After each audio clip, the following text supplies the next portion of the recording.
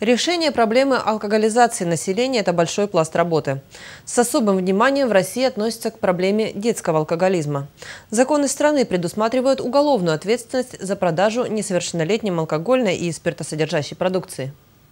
К информационным объявлениям с содержанием «Мы не продаем алкоголь лицам, не достигшим 18 лет» уже привыкли все. И это не просто слова. С каждым годом количество фактов такого нарушения значительно снижается. По данным Славянской межрайонной прокуратуры, за последние два года в нашем районе выявлено всего четыре таких преступления. Виновные по ним осуждены и понесли уголовное наказание. Чтобы обезопасить себя, продавцы имеют право удостовериться в том, что покупатель достиг совершеннолетия.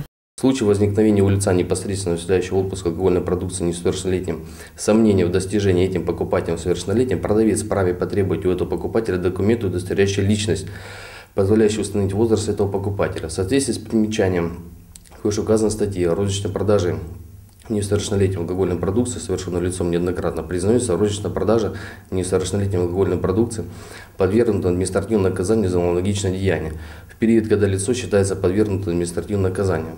Преступление считается оконченным с момента продажи э, несовершеннолетней алкогольной продукции. Слову, санкции, которые предусмотрены в Уголовном кодексе за это, позволяют виновных не только штрафовать, но и применять наказание в виде исправительных работ и возможность лишать права занимать определенные должности и заниматься определенной деятельностью. Мария Климова, Георгий Калинин, программа «События».